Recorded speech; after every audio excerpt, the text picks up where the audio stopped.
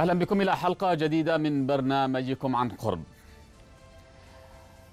اليوم يتم الحديث عن وصول خزان النفط صافر إلى مرحلة الخطر في ظل تسرب في هذا الخزان ورغم كل التحذيرات السابقة وكل المناشدات التي أطلقتها الأمم المتحدة ورغم كل ما تم سابقا في هذا الشأن يعني جلسة لمجلس الأمن حول هذا الموضوع إلا أن الميليشيات مصرة على التملص وعدم السماح للفريق فريق الأمم المتحدة وفريق الخبراء بالوصول إلى هذا الخزان لصيانته.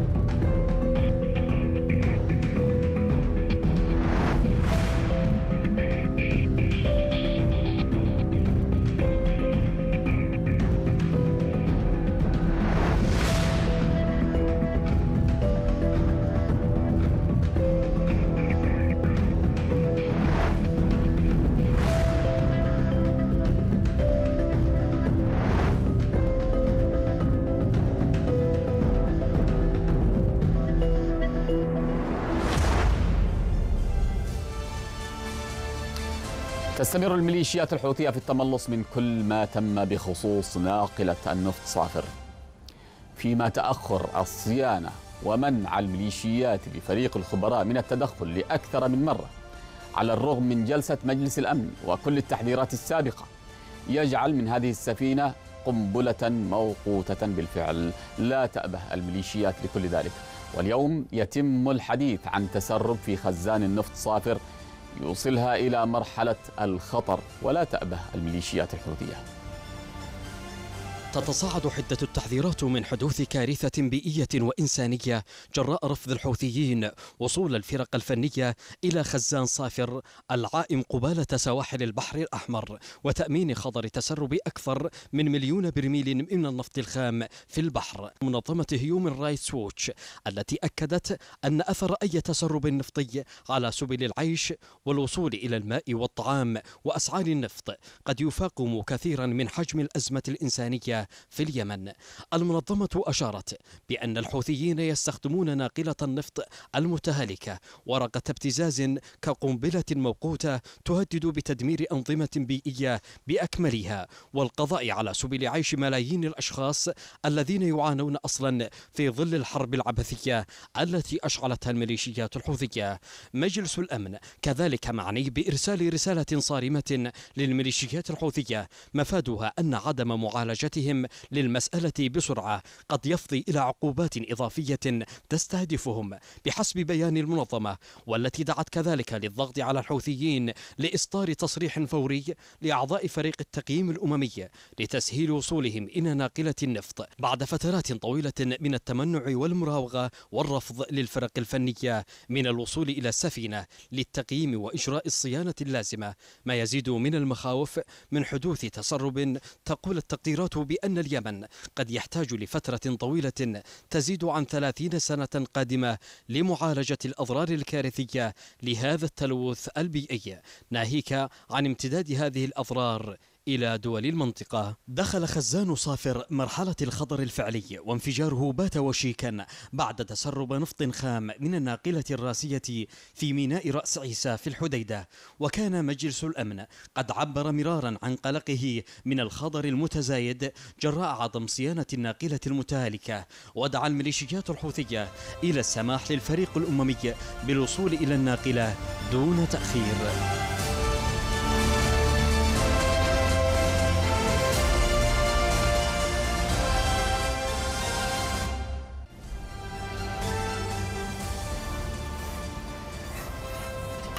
أهلا بكم وأرحب بضيفي عبر الهاتف الدكتور علي العمودي مستشار البيئة المستدامة للأمم المتحدة والأستاذ أنور العامري مدير عام شركة النفط فرع الحديدة. مرحبا بكما. أبدأ مع الدكتور علي العمودي. دكتور علي مرحبا بك.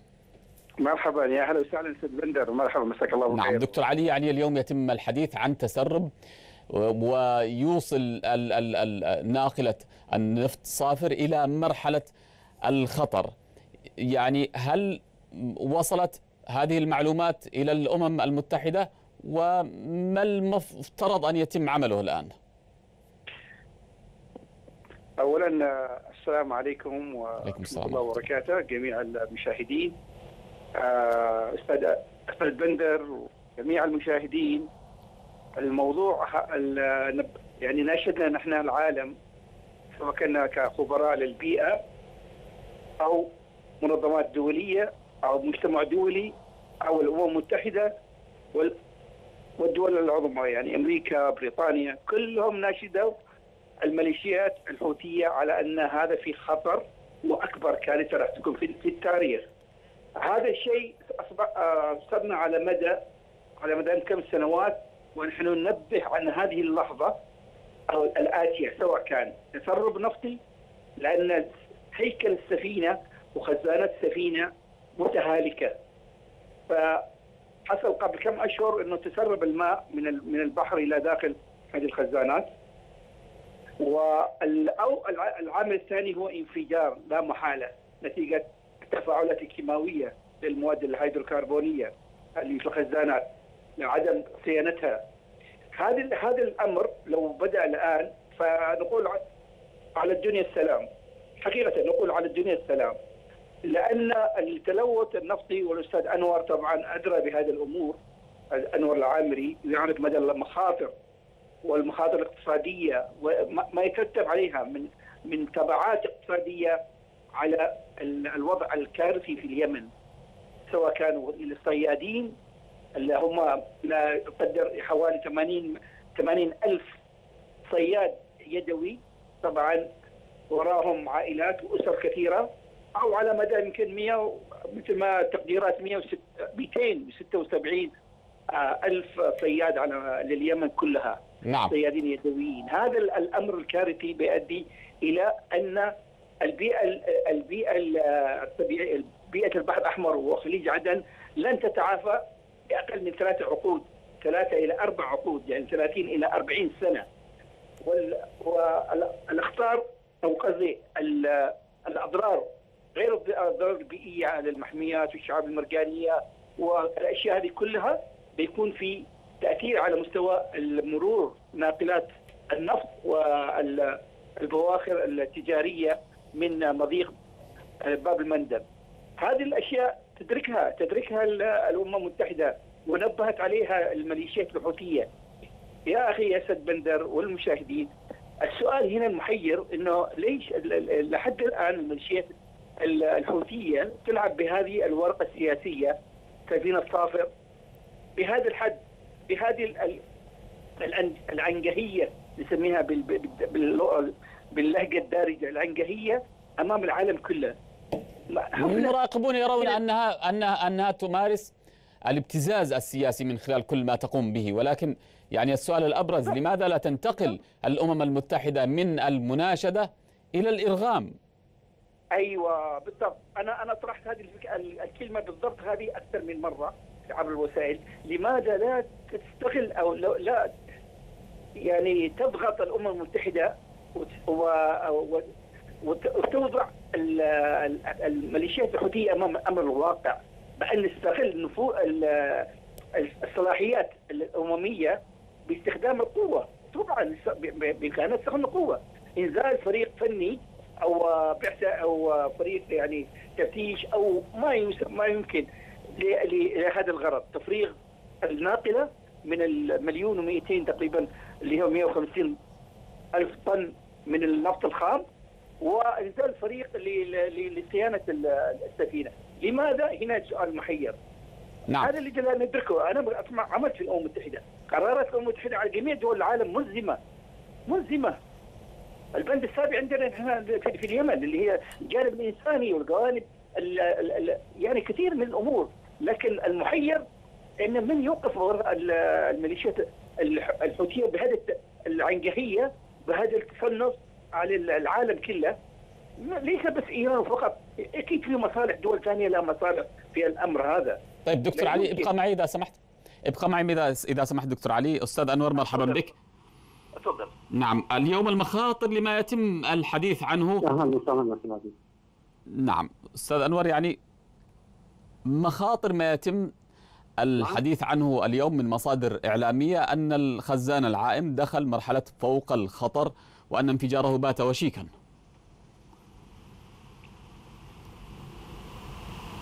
نعم أنا تابعت التصريح الذي أو المنشور الذي انشره المهندس خليل حنسي على صفحته. هو من المسؤول المالي اعتقد أو المدير المالي في في شركة صافر. وأكيد عنده صور الصورة التي شاهدتها هي أعتقد تسرب للماء. تسرب من الماء وليس تسرب النفط إلى البحر ولكن كان تسرب من الماء من مياه البحر عبر الأنابيب أو أو المحركات أو ما إلى داخل السفينة. آه هذا أيضا آه خطر يعني خلاص يجب هناك خطر. أستاذ آه أستاذ أنور آه أنا اؤيد كلامه أستاذ أنور. انه سفينه إلى أستاذ أنور س... نعم. سنعاود الاتصال بك حتى يتضح نعم، نعم. الصوت أكثر أيوه سنعاود الاتصال بك حتى يتضح الصوت نعم أكثر أسمعك. نعم ولكن آه، يعني سنعاود الاتصال بك حتى يتضح الصوت دكتور علي يعني ال- اليوم وأيضا كما أفاد ضيفي قبل قليل وسيكمل فكرته حينما نعاود الاتصال به يعني اليوم هنالك أيضا يعني تداول لصور من ناقلة النفط صافر تفيد بأن هنالك تسرب للمياه إلى داخل ال- ال- ال- السفينة الراسية قباله السواحل نعم. ال- الحديدة نعم. في البحر. الأحمر يفترض ازاء ذلك ماذا؟ يعني كيف يمكن أن يكون التحرك للمعالجة؟ اولا وصول مياه إلى داخل السفينة معناتها أن ثقل السفينة راح يتضاعف وبالتالي مهددة بالغرق السفينة. فإذا حصل غرق طبعا بيحصل تسرب للنفط. هذا ما في شك. لو حصل تسرب طبيعي كأي قارب صغير لو لو حصل فيه تسرب من المياه لداخله راح يثقل المياه تدخل داخل وراح يغرق هذا اولا. ثانيا ال- ال- المسألة المسألة إنها ليست فقط بس ال- المياه اللي ممكن تؤثر عليها لكن لكن خطورة خطورة التفاعلات الكيماوية الموجودة في الخزان الهيدروكربون سواء كان نفط خام crude oil أو كانوا كيروسين أو من المنتجات آه، بتروليه اللي هو ال petroleum product كل هذه عفوا المنتجات أو المواد الهيدروكربونية قابله للاشتعال قابلة للانفجار. نتيجة الغازات الطبيعية اللي هي متواجدة في في في حيز وا- واحد. لأنه في مواد يضيفونها الصيانة. كل سنة وكل سنة ونص يجب هي تمتص هذه الغازات وتتفاعل معها. بحيث انها اي لا, لا تؤدي إلى أي احتمالات للانفجارات. الآن صرنا خمس سنوات لم يتم أي صيانة لخزانة النفط أو ال- ال- الخزانة اللي كما هي. القرار القرار مثل ما أنا اشرت مرة كان في تلاعب من ال من ال الحوثيين أو الميليشيات الحوثية بأنهم بالسماح بيسمحوا لفريق من الامم المتحدة أنه ينزل للسفينه بضمان أو بشرط أن يكون أعتقد مش عارف 80% من قيمة ال- النفط هذا إلى صالح ال- ال- الحوثيين أو لل- للميليشيات الحوثية. هذا إحدى الأمر. وفي تلاعب برضه آخر كضغط سياسي كان كانوا يريدونها يلعبوها على أساس عندما تأزمت الموضوع ما بين أمريكا وإيران على أساس فرض العقوبات على إيران وكذا فهم لعبوا بهذه اللعبة مع الامم المتحده قالوا نحن نسمح لبعثة من الأمم المتحدة فهم هي عملية مراوغة عملية واضحة جدا والسياسيين يدركون هذه الحقيقة أنهم يلعبون بهذه اللعبة مراوغة دكتور وتملص أيضا مراوغة وتملص يعني أيضا هي منعت. الميليشيات الحوثية نعم. منعت نعم. الفريق من آه، و- وأرجعته من من جيبوتي وأيضا قبل جلسة مجلس الأمن المخصصة في هذا الشأن يعني قالت إنها ستسمح للفريق بالوصول وما إن انتهت الجلسة حتى تنصلت الميليشيات الحوثية من كل ما قالته يعني.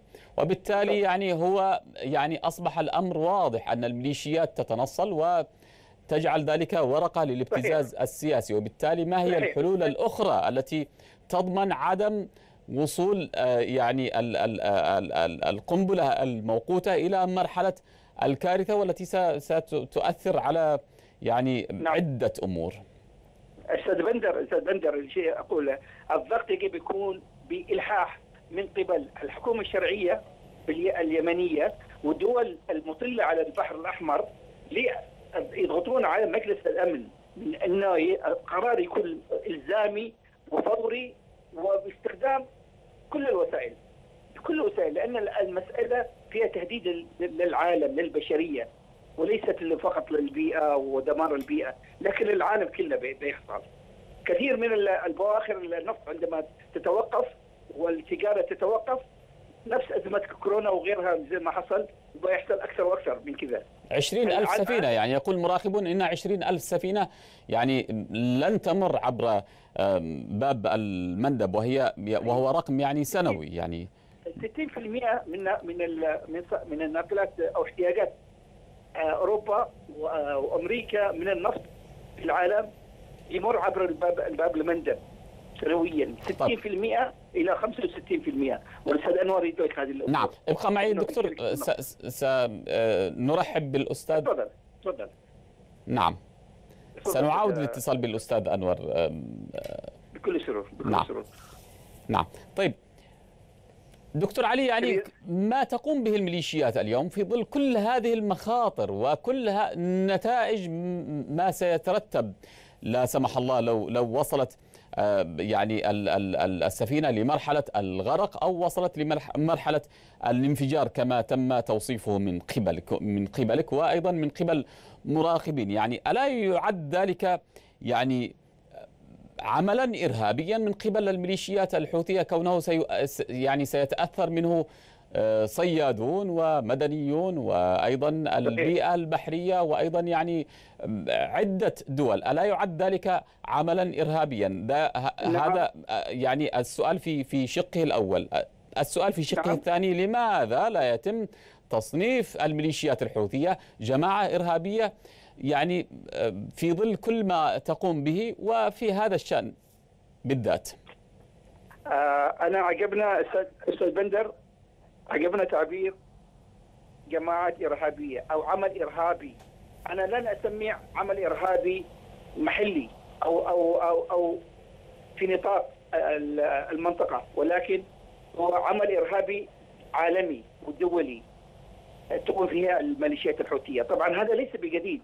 هذا التصنيف صنفت من أول ما حصل الانقلاب على الحكومة الشرعية وقامت من العمل الإرهابية وبكل أصناف تعرض الجانب الإنساني للشعب اليمني من قبل هذه الميليشيات. التعنت هذا التعنت والتصنف والعنجهيه على المجتمع الدولي لم يعني لم يتعود عليها دول العالم ولا المجلس الأمن بأن أن تصد وتضرب كل قرارات الأمم المتحدة عرض الحائط نتيجة هذا التصنف التصنف تسلط يعني من من الميليشيات الحوثية. هم لا يدركون. هم يدركون ولا يدركون. هنا السؤال. بأن الأضرار هذه تكون كارثية على على البشرية كلها. آه، حادثة غرق آه، آه، سفينة اكزن فالديز اللي حصلت في ألاسكا في سنة 1989 هي لحد الآن في تاريخ التلوث البيئي في العالم هي أكبر كارثة عالمية. كانت تحمل 850 ألف برميل. سافر مليون و200 ألف برميل الآن تحملها. هذه بيكون أكبر كارثة في العالم. الحوثيين زي ما قلت لك أنا هل يدركون هذه الحقيقة؟ طبعا. ولكنهم هم ما ما عندهم هذا ما عندهم هذا التقدير للكوارث اللي ممكن يحصل للإنسان. وللبشر إلى البيئة البحرية إلى الأسماك إلى إلى كل شيء. ما عندهم طيب. هذا التقدير. هم غرضهم السياسي فقط. يجب أن يحققوا إرادتهم وتمسكهم بالقضية بالحديدة والمناطق اللي خاضعة لهم. هذا طيب. هو وهنالك عدة اتفاقيات دكتور؟ يعني عدة اتفاقيات لمواجهة الإرهاب.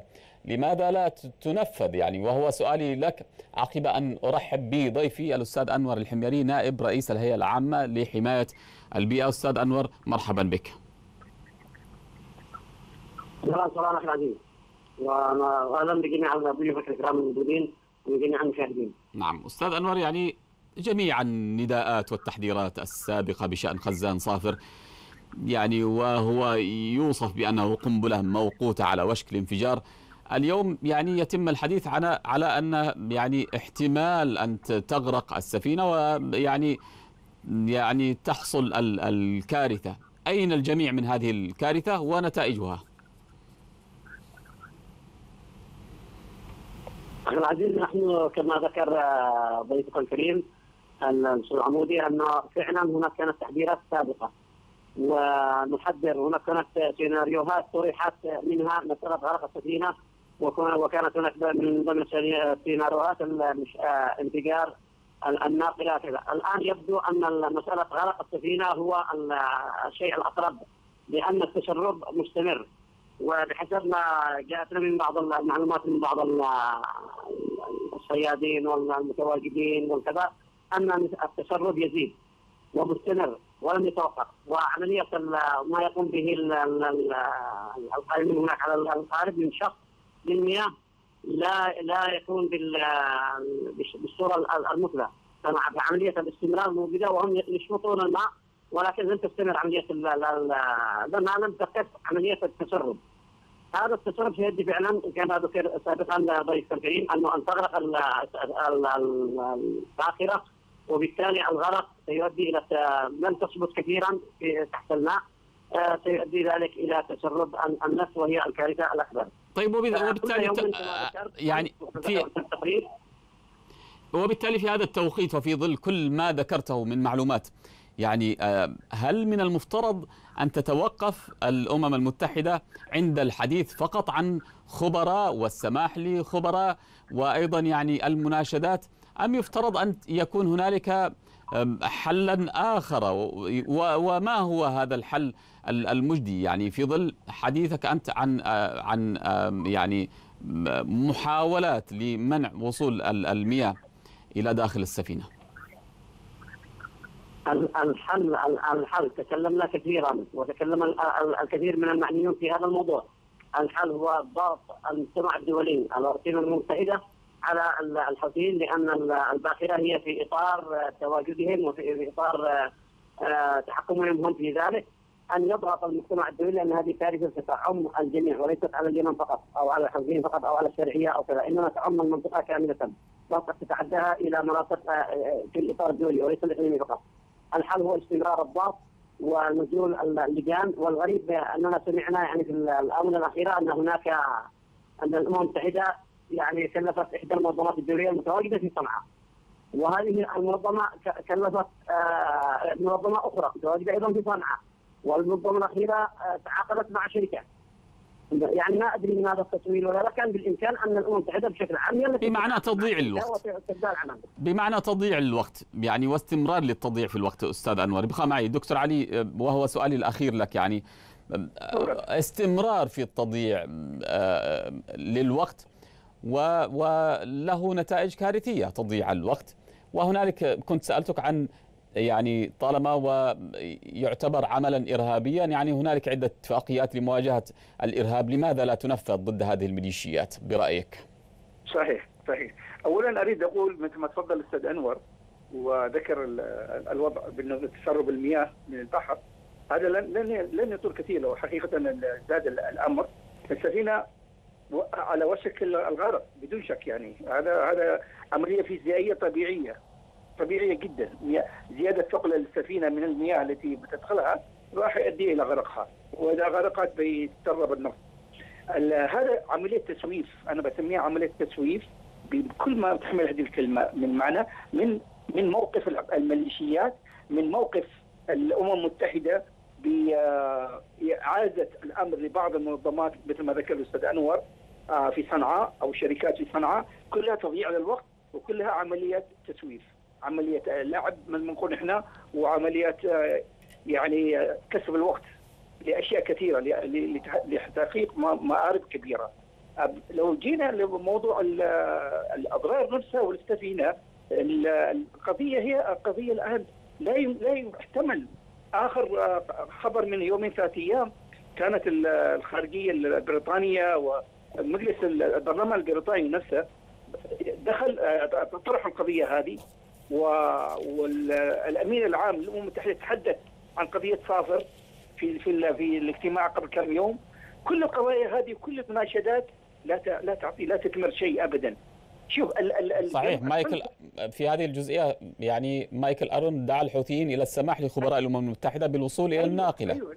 نعم حيث نعم. تحذر تقارير من احتمالات انفجارها وأيضا قبل نعم. ذلك يعني الخارجية الأمريكية دعت الميليشيات الحوثية إلى التعاون مع المبعوث الأممي مارتن جريفيس وقالت إنه إذا حصل تسرب للنفط من الناقلة فإن الحوثيين سيتحملون التداعيات إضافة للتكاليف الإنسانية والبيئية. أيوه الاتحاد الأوروبي كمان ضغط في الفترة الأخيرة في نفس المناشدات لأنه العالم يعرف انه هم يتأثرون، العالم ده كله بيتأثر. حقيقة بيتأثر لو حصلت مع الغرض من هذا الغرض هم هل هي عملية مساومة؟ هل يريدون قيمتها؟ في في ذكرت تقارير إنه في استعداد إنهم يعطون قيمة النفط هذا للحوثيين. لكن دون أن تؤدي إلى كارثة للعالم. في تقارير أشارت هذه إلى هذا الامر هذا. وأنت أشرت دكتور أشرت في في معرض حديثك عن يعني عدة مبادرات يعني وعدة يعني نعم. يعني نقاط ما يقارب ثلاث ثلاث نقاط يعني تم الحديث عنها ولم ولم تلتزم الميليشيات الحوثيه. أستاذ بندر القضية واضحة جدا هذول انقلابيين لهم مآرب محلية يعني على الوضع اليمني أو القضية اليمنية ومآرب دولية تحتكم لها إيران وتركيا والدول الأخرى التي تدعم الحوثيين. لذلك هم مش هم يعني ليس سيد الموقف. نعم. تملى عليهم تملى عليهم بعض الأمور وبالتالي يلعبوا في لعبة ولكن هي لعبة خطيرة. حقيقة لعبه خطيرة. نحن بنضرر فيها الشعب اليمني وشعوب المنطقة كلها واقتصاديات المنطقة كلها والبيئة البيئة الطبيعية اللي في البحر الأحمر اللي تعتبر كنوز للبشرية. كنوز البشرية من من شعاب مرجانية من أنواع الأسماك من كل ما والاقتصاديات المنطقة كلها. نعم. صدق هذه راح تكون كارثة. لا, نعم. لا يمكن لا يعقب آه، لا يحمد عقباه زي ما يقول المثل يعني. نعم. الدكتور علي عمودي مستشار البيئة المستدامة للأمم المتحدة شكرا جزيلا لك. أستاذ أنور يعني تأثيرات ذلك على البيئة الطبيعية وأيضا يعني ما هي التكلفة الإنسانية والبيئية؟ لو حدث تسرب للنفط من الناقلة حدوث حدوث أي تسرب للنفط كما ذكر سابقا في تقارير سابقة آه، عبركم وفي لقاءات سابقة أنها ستؤثر بشكل عام على الجانب البيئي والاقتصادي والاجتماعي والصحي أيضا للسكان سواء كانوا في اليمن أو في الدول المجاورة. تتأثر انظمه بيئيه مثل المنجروف والشعب المرجانية والحشائش البحرية كل ذلك ستؤثر على الكائنات البحرية المتواجدة في البحر الأحمر. وهذا سينعكس من الناحية البيئية وينعكس أيضا من الناحية الاقتصادية للصيادين في المنطقة وخاصة عندنا في في اليمن. تتأثر حتى في ذلك سيغلق يعني إذا كان الحوثيين يعتقدون أنهم آه، هذا سيؤثر عليهم من هذه الناحية. حتى في ان الميناء أيضا ستاثر الملاحه البحرية. في المنطقة وبالتالي ستكون ستعم الكارثه سواء كانت كارثة بيئيه أو اقتصادية أو اجتماعية على ليس على اليمن فقط قد تكون اليمن فعلا أكثر تضررا وأكثر تحملا للعبء الأكبر لكن أيضا الدول المجاورة ستكون أكثر تحمل وغيرها من الدول الدول العالمية تتأثر فيها الملاحه البحرية تتأثر على التجاره نعم. الدولية. نعم. الأستاذ أنور الحميري نائب رئيس الهيئة العامة لحماية البيئة شكرا جزيلا لك. والشكر لكل ضيوفي في هذه الحلقة وللمشاهدين الأعزاء في أمان الله.